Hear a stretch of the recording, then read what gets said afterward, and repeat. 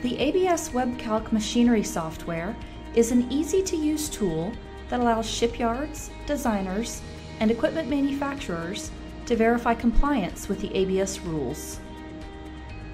The ABS WebCalc machinery software can be easily accessed by logging into your ABS account on eagle.org. Inside the application, you can access several of the ABS rule sets, including the marine vessel rules, rules for MODUs, and steel vessel rules. Once you've selected the appropriate rule set and section, you can begin using the calculation functionality.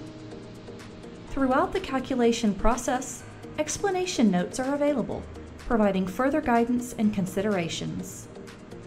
After completing your calculations, you can save the results into an XML file for future use. To find out more about this application, visit www.eagle.org.